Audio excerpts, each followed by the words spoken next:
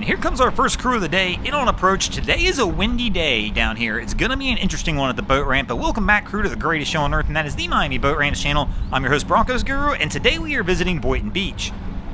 So our crew looks pretty solid as they're coming in. Our girl's got the legs off the side, goes for the step on, and the pro move, the reverse kick out. Nice move right there. She didn't even have to look. She just knew. Put her foot back there, pushed the boat off ever so lightly. She stepped off of the lines. Great job. I mean, this crew lit it up as we're opening off.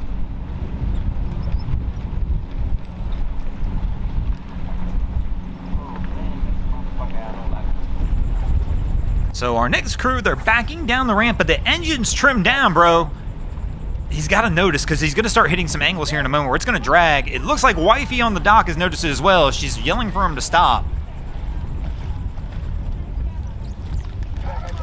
And you always, once you start coming down the ramp, the angles on the boat are going to change, and that's exactly what was happening here. Is as the bow was coming up, the stern was going down, which means that motor was going even further down, even though they cleared at the top, they definitely weren't going to clear as they continued to go down the ramp. So Wifey wisely catches it, and hubby gets out of the truck to take a look at the situation, but I mean, they just got to trim it up. So that one can confuse people sometimes as well, is that, you know, they think, oh, well, it's not dragging at the top, but that doesn't mean anything once you start backing down the ramp. So Junior jumps into the boat and is going to take care of it for him.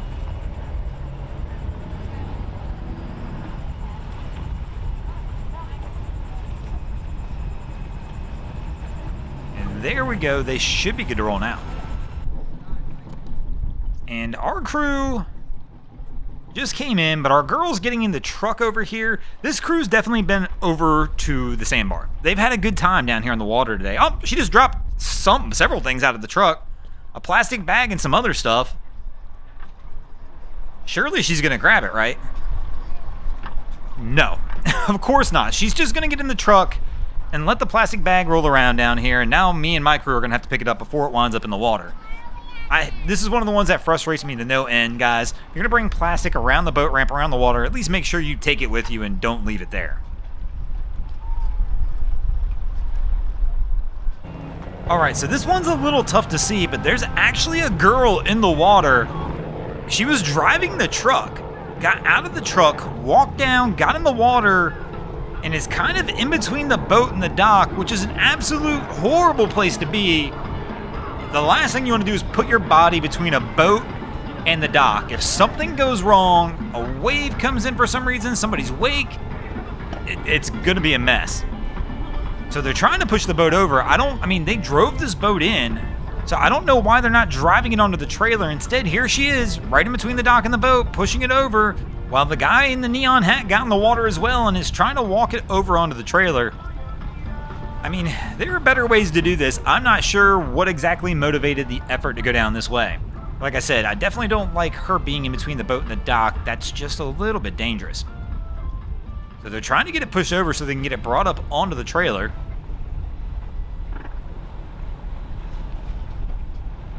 And it looks like they finally have it at the right spot. So our guy in the front is going to get the winch and start trying to winch it up.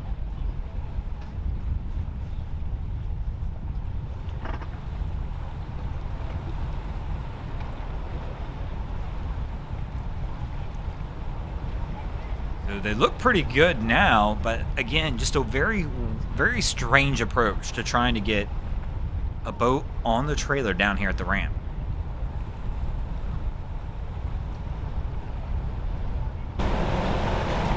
And after several minutes, they finally have this one kind of lined up, and our girl's looking in the water. She's lost something. I'm not 100% sure what, because I kind of didn't see it happen. But now she's definitely, yeah, she's definitely looking down into the water, trying to figure out, I'm assuming she's lost a phone or something. That's a rough one, once again, because I couldn't understand why she was in the water to begin with. She was originally driving the truck. So she was in the driver's seat of the truck, got out of the truck, walked down into the water to try and push the boat over. And in that process, we've lost something.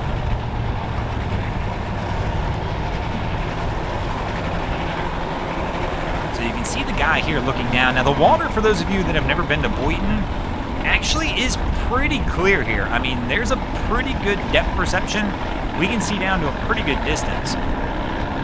But that can be a problem as well sometimes because it's a lot deeper than it looks in some areas, so but we'll see.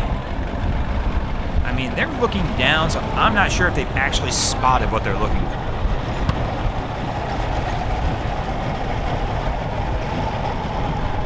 Girl's back in the water again, gonna give the search.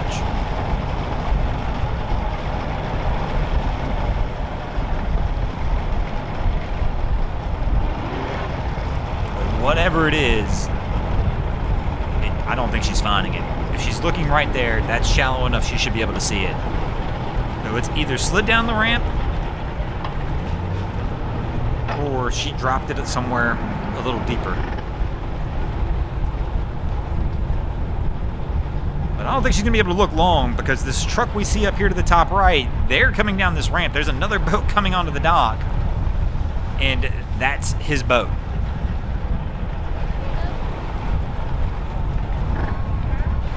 So our girl's actually talking to the truck that was trying to back down the ramp, and she's trying to plead with him not to back down the ramp. I guess she's maybe going to get snorkel gear or something to try and find what she's looking for.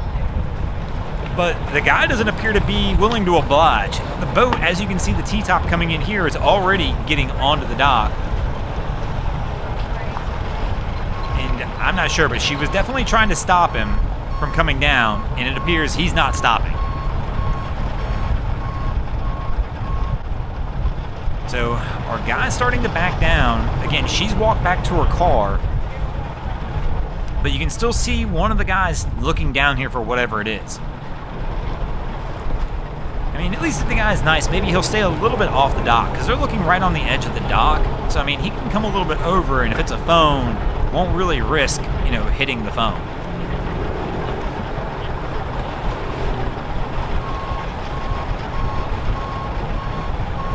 And there's somebody in the blue shirt up there talking to this guy as well.